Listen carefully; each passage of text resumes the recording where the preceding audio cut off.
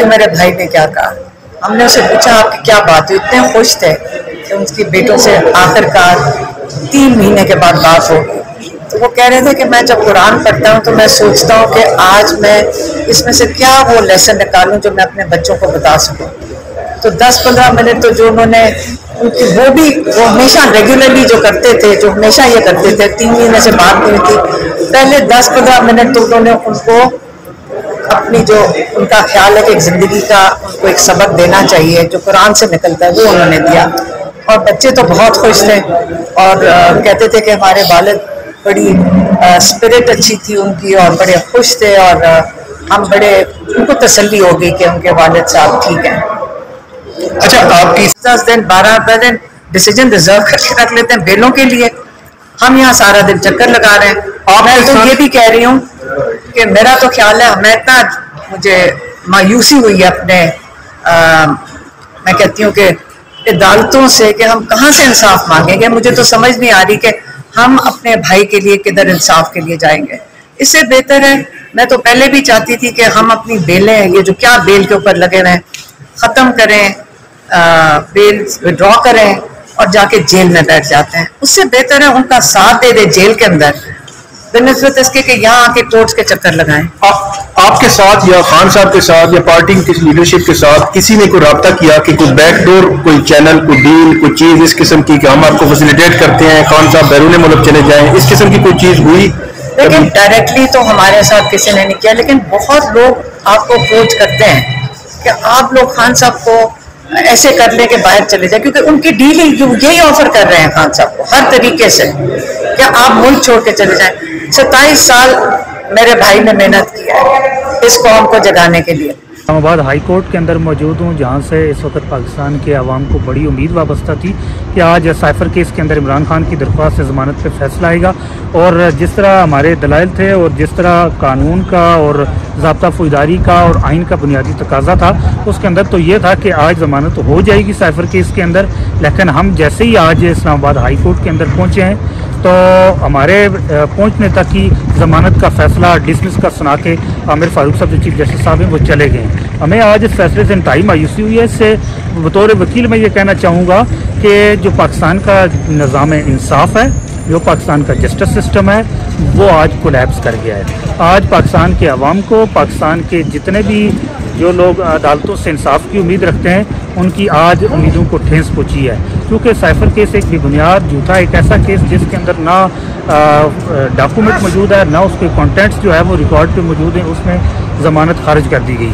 ये बुनियादी तौर पे निज़ाम इंसाफ के साथ, अदालतों के साथ और जो इंसाफ के बुनियादी तकाजे उनके साथ एक खुल मुखला मज़ाक हुआ है, उसका जो बुनियादी हकूक थे इमरान खान के, उनको पामाल किया गया है। इमरान खान मैं नाम नहीं लेना चाहता, मैं नाम नहीं लेना चाहता।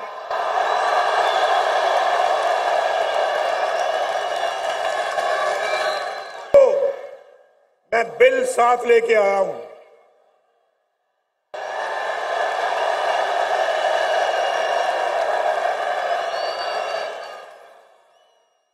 बिल मैं साथ लेके आया हूँ और मैं आपको बताना चाहता हूँ। एक मिनट। एक मिनट। सुन ले।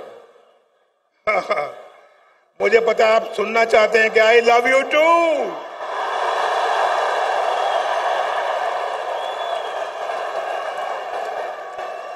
आप भी मुझसे मोहब्बत करते हैं, मैं भी इतनी मोहब्बत करता हूँ आपसे।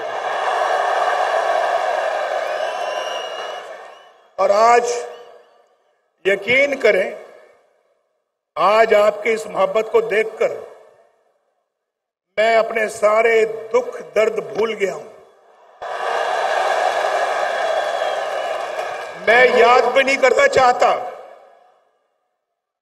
मैं याद भी नहीं करना चाहता। लेकिन लेकिन मेरे भाइयों, कुछ दुख दर्द ऐसे होते हैं, जो इंसान उनको भुला तो नहीं सकता, लेकिन एक तरफ़ रख सकता है। कुछ दुख दर्द ऐसे होते हैं, जो इंसान उनको फरामोश कर सकता है कुछ देर के लिए। लेकिन कुछ दर्द, दुख दर्द ऐसे होते हैं, कुछ जख्म ऐसे होते हैं जो कभी नहीं भरते। कभी नहीं भरते। आप जानते हैं कि जो कारोबार है, ज़िंदगी के अंदर इंसान की कमाई है, माल है, ये चला जाता है, फिर आ जाता है अल्लाह के फजलो करम से। लेकिन जो लोग, जो अपने प्यारे इस आप से जुदा हो जाते हैं, वो आपको कभी, वो कभी दोबारा नहीं मिलते, वापस नहीं आते। आज मैं सोच रहा था, मैं सोच रहा था कि मैं जब भी कभी बाहर से आता था, मेरी वालदा, मेरी बीवी कुलसूम पर घर पहुँचता था तो दरवाजे पे खड़ी होती थी मेरा इस्तकबाल करने के लिए। आज मैं जाऊँगा तो वो दोनों नहीं है। वो मेरी सियासत की नज़र हो गए। सियासत में मैंने खो दिया उनको। वो मुझे दोबारा नहीं मिलेंगे।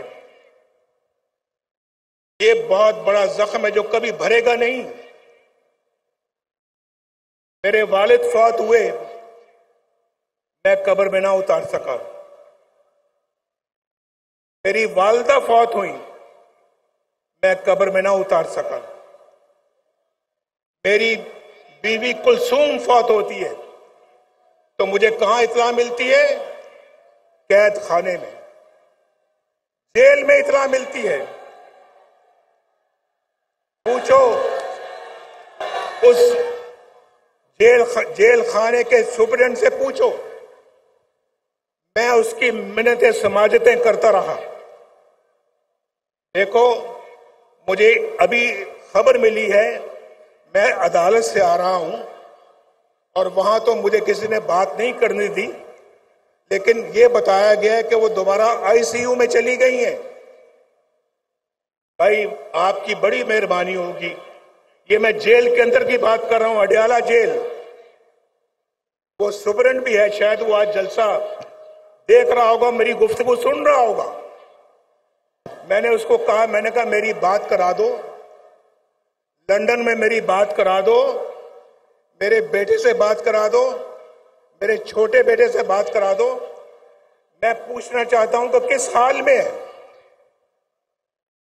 मेरी बात उसने नहीं कराई। मैंने कहा, देखो, तुम्हारे मेज के ऊपर दो दो फ़ोन पड़े हैं। ये दो मोबाइल पड़े हैं। ये दो लैंडलाइन पड़ी है। यार तुम एक छोटी सी कॉल मिला के मेरी बात करा सकते हो, करा दो। कहने लगा, हमें इजाज़त नहीं है। आपने अभी तक हमारा चैनल सब्सक्राइब नहीं किया तो अभी सब्सक्राइब करें और बेल आइकॉन को क्लिक करके हमारी लेटेस्ट वीडियोस के बारे में अपडेट जानें।